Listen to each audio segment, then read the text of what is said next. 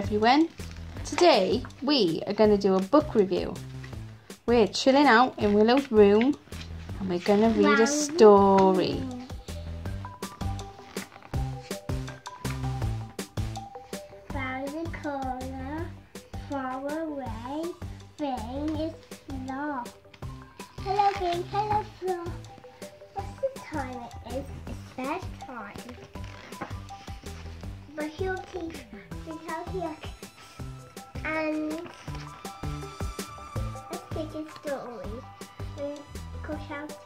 Where's Flo? She's she's in her bed.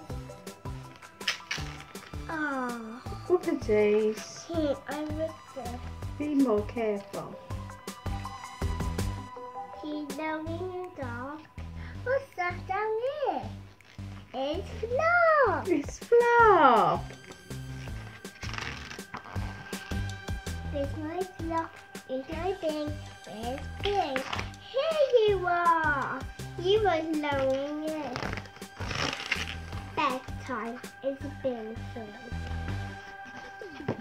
The end. The end. I want to read it again. So what do you like about your Bing Bunny story? It's exciting.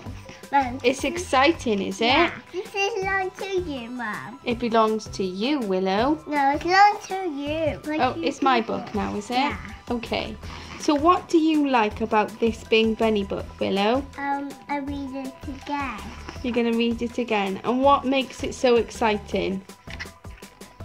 Hmm. Nothing. Nothing. No. It's not exciting. Yeah. So tell me, who's Round the that? corner, far away.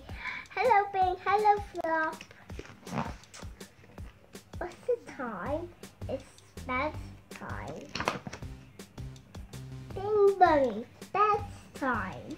So what's happening? Can you tell me what's happening inside this story? It's jumping above. Whee! It's out here. Cozy one? So-? Willow is doing her reading.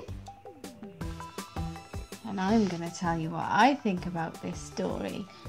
This Bing Bunny story. is one of Willow's favourite cartoons. So when we saw the book for sale, we decided to buy it.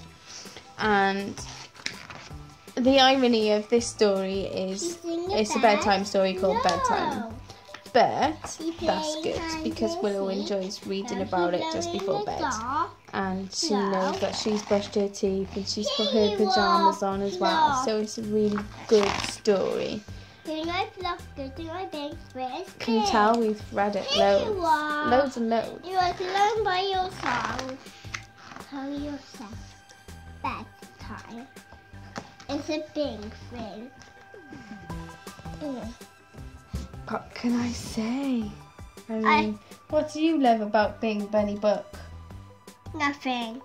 You don't love your Bing Bunny book?